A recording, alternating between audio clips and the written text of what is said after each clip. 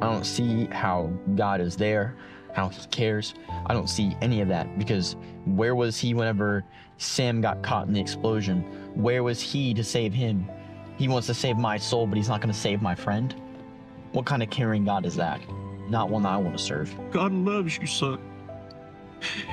And I'm praying for you. I want God to save you. Maybe this Christmas program would be the one to change his life. Jonathan, you can find Christ as Savior right here at this table.